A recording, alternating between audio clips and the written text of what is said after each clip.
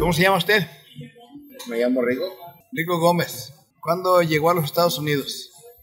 En 1990. ¿Usted cómo llegó aquí?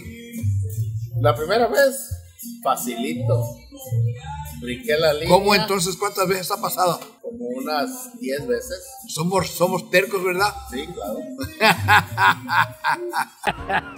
Ya valió.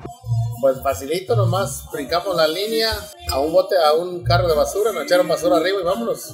¡Ándele! Así de fácil. Fíjate nomás. Y dijo el coyote, no, hoy te lo van a venir a buscar. Ocho días, nada, Ocho días. nada. Ya muriéndose unos acá. Empezaron a caer, empezaron a unos a tomarse los orines. Ahí. A fuerza, porque de qué, de qué, de qué iban a vivir. ya una, un avión llegó y empezó a dar vueltas así, maromas, maromas, los miró y empezó a dar vueltas. Un ratito entró la migra. No, esa aventura estuvo, estuvo pesada.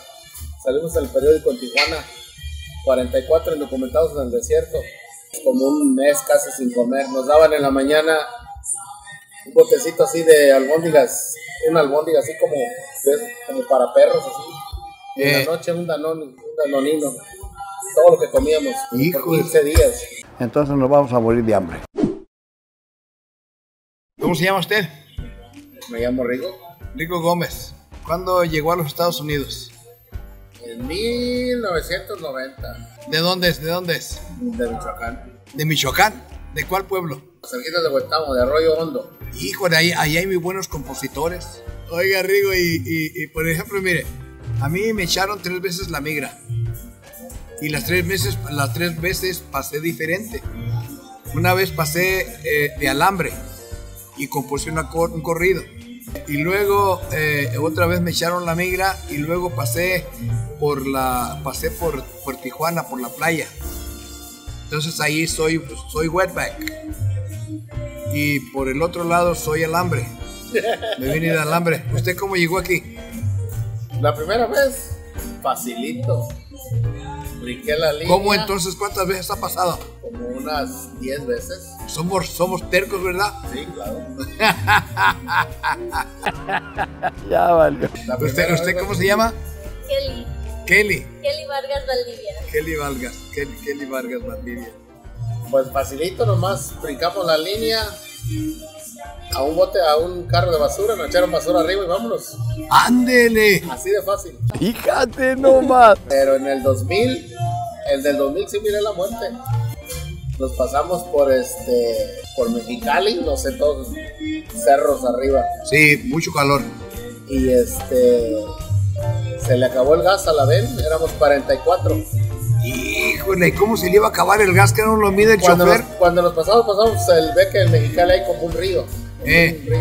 Y de repente vimos como un, como un grito. Ya cuando salió el chavalo, salió como con la mitad de un pie. Ya no tenía un pie. ¡Ándele! Nos cargaron en la B, nos fuimos, se le acabó a medio desierto, se le acabó la gasolina. Y dijo el coyote, no, hoy te lo van a venir a buscar. Ocho días, nada, Ocho días. nada. Ya muriéndose unos acá. El muchacho ese que le había ¿Y, de dónde ya- agarraban agua? ¿De dónde?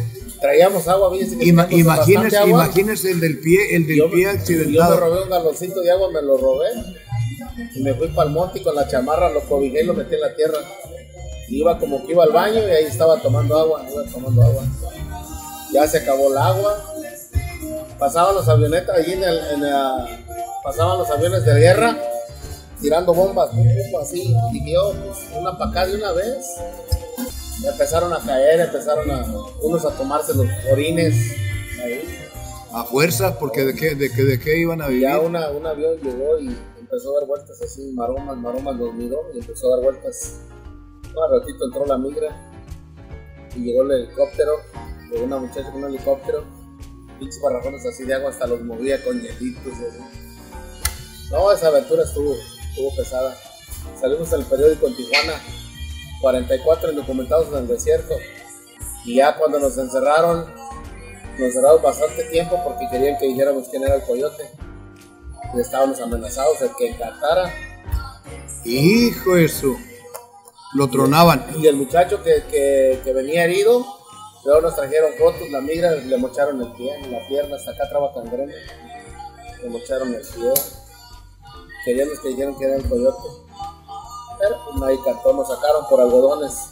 Como un mes casi sin comer. Nos daban en la mañana un botecito así de albóndigas, una albóndiga así como, ¿ves? como para perros así. Y en Eh. la noche un danón, un danonino. Todo lo que comíamos Hijo por de- 15 días. Nos salimos algodones, no, hombre, a taquear.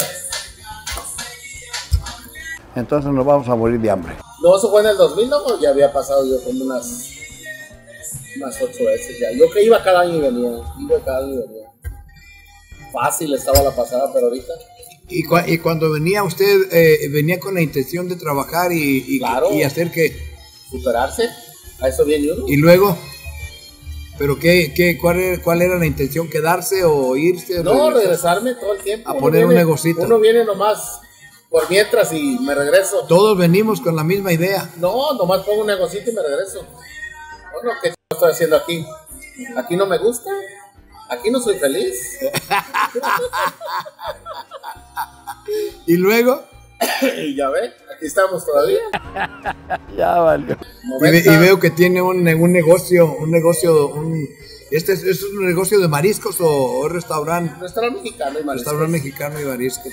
Sí, claro. Entonces la comida que usted ofrece aquí es netamente mexicana. Auténtica. No es como, no es como la de los gabachos que le pi- pide un burrito y le dan un caballote así lleno de queso y de todo. ¿no? Y de papas. Y de No, papas aquí y no. luego todo. Aquí es al revés, lo rellenamos de frijoles. Híjole.